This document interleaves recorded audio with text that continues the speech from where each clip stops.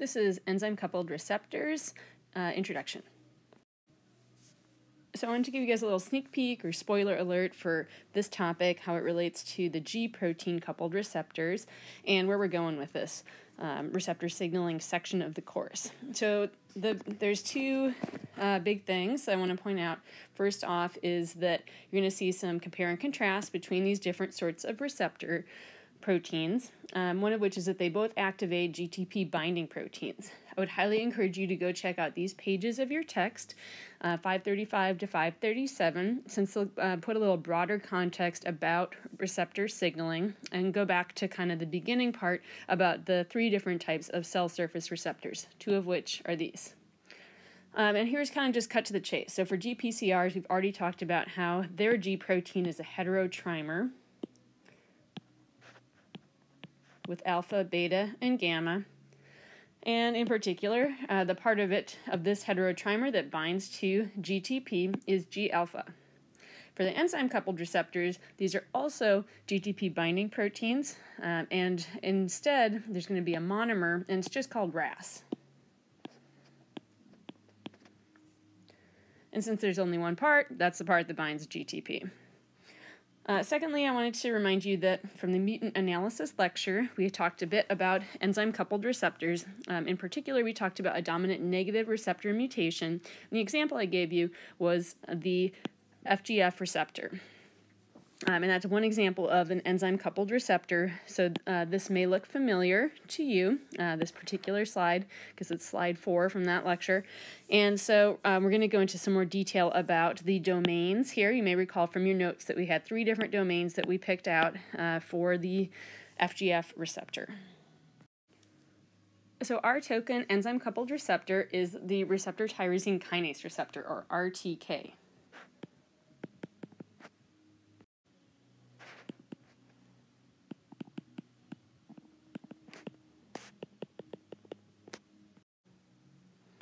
And so here's some shared features about enzyme coupled receptors. They are single pass transmembrane proteins.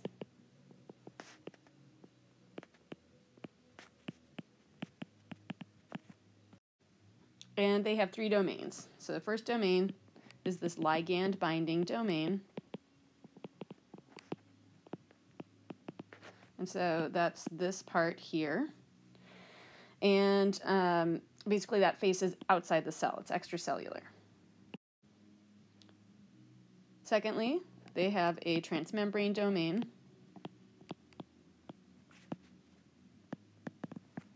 And third, they have a cytoplasmic region, uh, cytoplasmic domain, uh, of which this is broken down into two parts here. We see the kinase domain, which has the enzymatic capability. And then we see the cytosolic tail, and this is the region that is phosphorylated.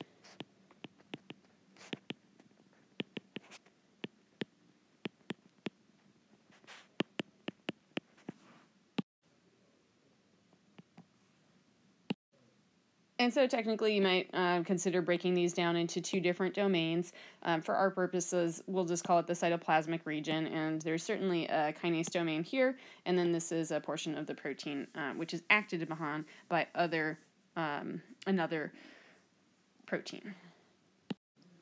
Let's talk a little bit about the type of ligands that bind to enzyme coupled receptors. In this case, we're talking about receptor tyrosine kinases. So most of the ligands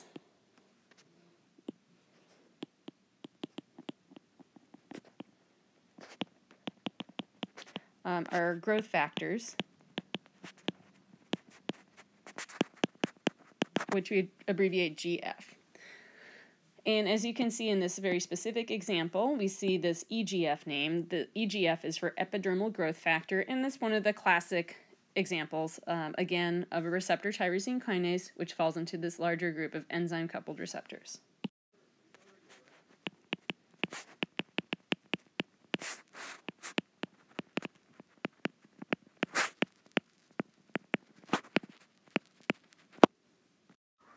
And then typically their accompanying receptor is EGFR, Um, and so any sort of time we talk about these growth factors, then we uh, usually just add an R to indicate the receptor. But be careful about that because you want to know exactly which part of the signaling pathway you're talking about. The ligand does not have the R, uh, but the receptor does. All right, and as their name implies, they are growth factors, um, which sounds like a pretty generic and kind of boring process, but this is a really key and core process for cellular um, lifespan. So, as a growth factor, growth factors are typically going to cue up cell division.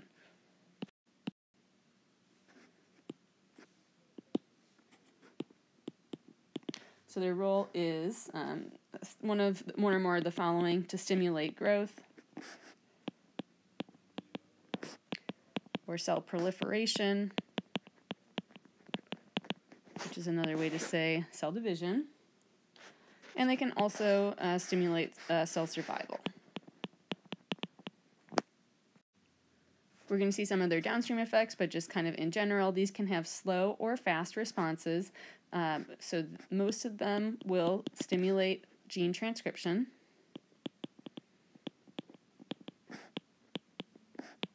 Which of course would be a slow response, and some will have other effects, such as remodeling the cytoskeleton.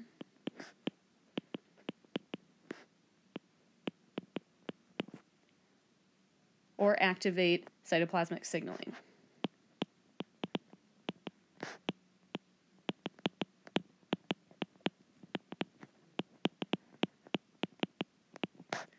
Both of which are fast responses.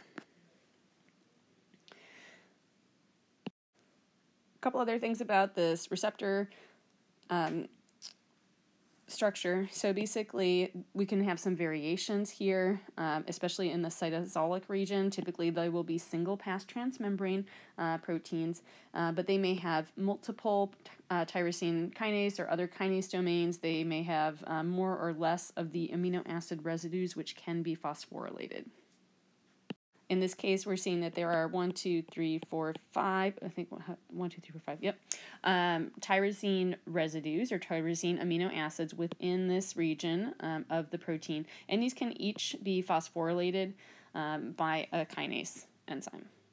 When we say that this uh, particular region is a tyrosine kinase, that means that it has the ability to add phosphate groups to tyrosine residues.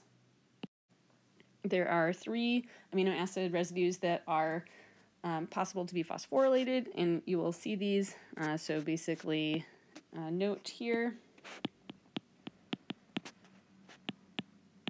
tyrosine, serine, and threonine are the likely amino acids that, to be phosphorylated. And as the name of this entire group um, has kinase in the name, receptor tyrosine kinase, you can imagine you're going to see quite a lot of this sort of activity.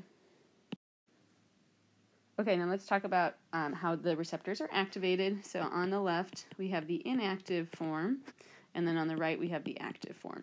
This figure, by the way, is not from your textbook. Uh, I just like this one a little bit better. There are some uh, portions of figure 16-32 that look a lot like this, however.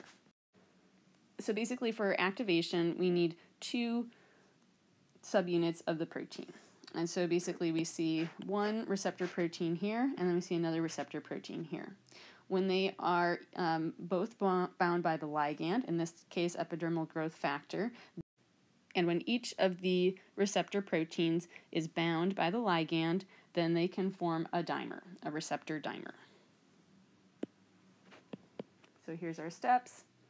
Um, first off, note that the unbound receptor is a monomer. And then as we go through the steps of activation, the first step is that the bound receptor dimerizes.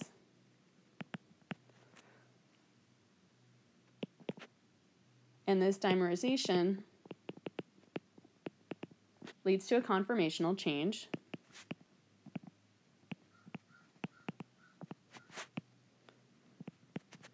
Um, and part of that is indicated by these little um, shape changes here. You can also see that they are uh, tightly associated with one another. And that conformational change activates the kinase domain.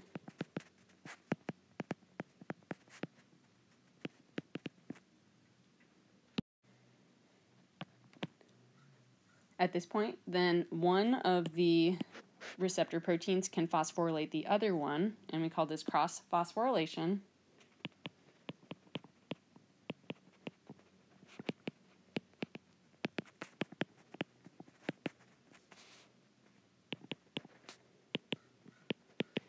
And sometimes you'll hear it referred to as autophosphorylation, though technically it's one of the receptor um, monomers phosphorylating the other one.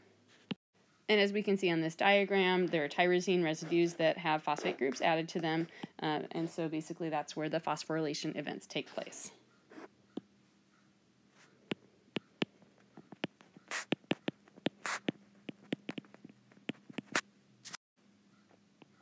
And after that, um, downstream signaling